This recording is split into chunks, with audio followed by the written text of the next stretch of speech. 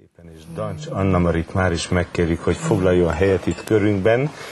Még mi is meghatódtunk ezen a gyönyörűséges részleten, ugye nagyon megható és nagyon megindító. Azt láttam. Mama és gyermeke. Így van, ez a Misszágon Lélekben című musicalnek az egyik áriája, az én Hát. hát. adnám életem, és az egyik legdrámai pillanat, ezért is Igen. van bennem mindig a, a remegés ezután a dal után, meg hát a dal előtt, meg a dal után és közben, úgyhogy... Szóval annyi mindenhez köthető ez a musical, ugye a, a Madame Butterfly-től kezdve a kaukázusi krétakörig, hogy az anya mi minden fájdalmat magára nem vállal azért, hogy a gyereke.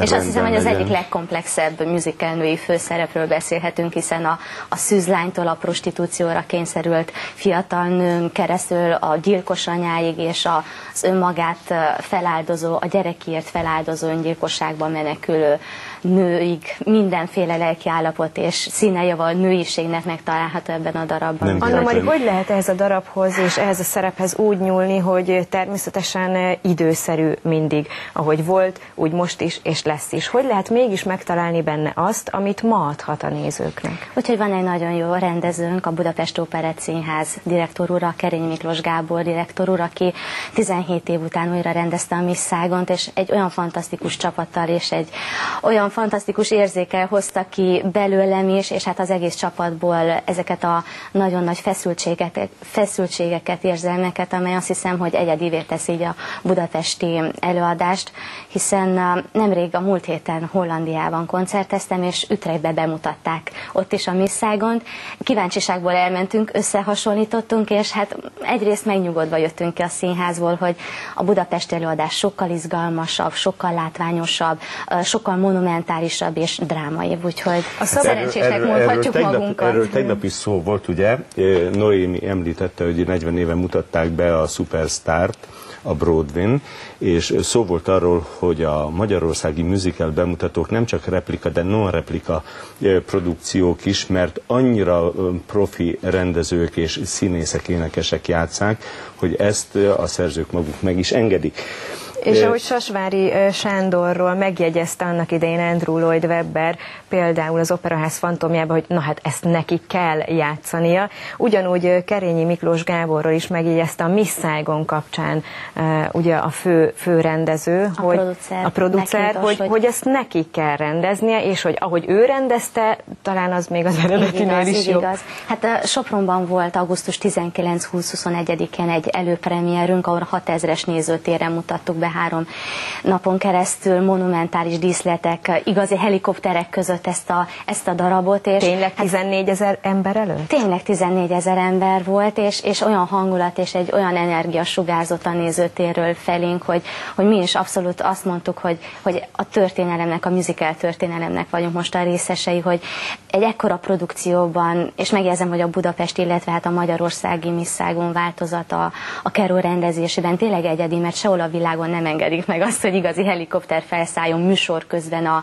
a, a színpadon, és ezért nagyon izgultunk, de hát nyilván 200 szereplő volt a színpadon, és, és annyira profi meg volt minden szervezve, és előkészítte, hogy még egy bokatörés vagy egy, egy sérülés semmilyen probléma nem jött közbe, úgyhogy tényleg fantasztikus csapat és fantasztikus színészek játszottak. Miért, miért olyan jók a magyarok a musicalben? Csak hogy ha, ha már itt tartunk, mert elmondtuk a legeket, a leg-leg-leg, de, de honnan Szerintem a lelkületünk benne van, a magyarok lelke, lehetséges. Én ugye? még nagyon friss vagyok ebben a műfajban. Ugye én 15 év popkarrier után kerültem a tavaly októberben a Budapest Operett színházai művészei közé.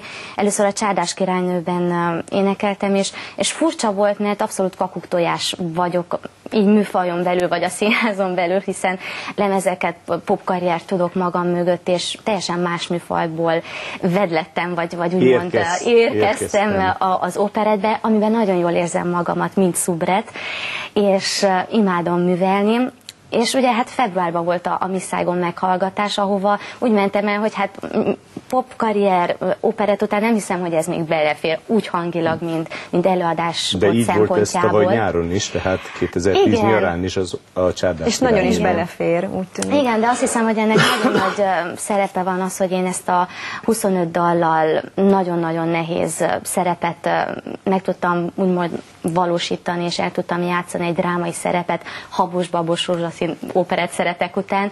Nagyon nagy szerepe volt a direktor úrnak, hogy, hogy olyan pedagógiai érzékel hozta ki belőlem a feszültséget. Négy hónapon keresztül próbáltuk, amely egy nagyon hosszú folyamat volt, és úgymond lelkileg megnyílni, és, és olyan érzéseket, amiket szerencsére, hála jó Istennek, soha életemben nem éltem át, és nem is fogok és remélem gyilkolás, vagy, vagy gyűlöletet, vagy, vagy, mm. vagy megalázást. Ilyeneket nem volt szerencsémre alkalmam megtapasztalni, de ezeket, hogy hitelesen átadni a nézőknek. Szóval és akkor most már álmodni, hogy... nem? Tehát a pop, a pop karrier után az operett, musical, akkor most már vannak álmok?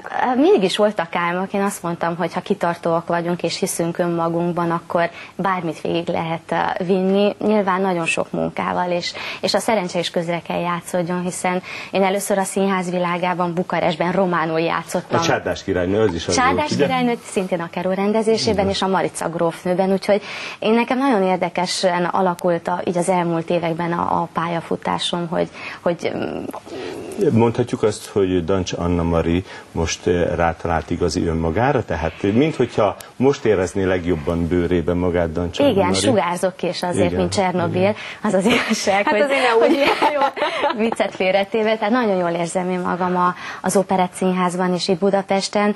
Nagyon sokat kell dolgozni nyilván, másfajta kívás, másfajta izgalom, mint amit a, a pop karrierben éltem meg.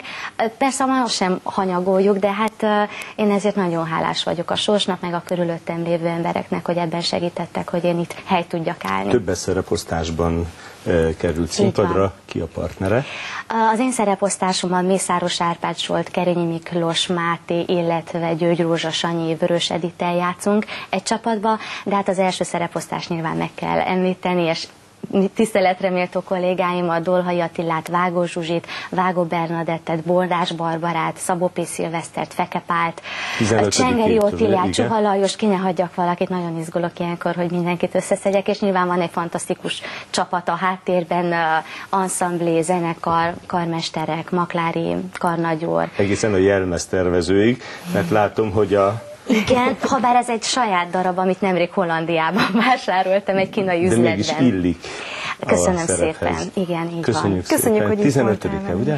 Hát egész évadban játszódjuk, illetve most, most október végén, 15-én, 16-án, 17-én, nem, 14-től 16-ig, illetve igen. november végén, de hát az operet.hu, illetve a dancsanamari.com weboldalakon nyilván fel vannak tüntetve az időpontok. Köszönjük Köszönöm szépen. szépen én is.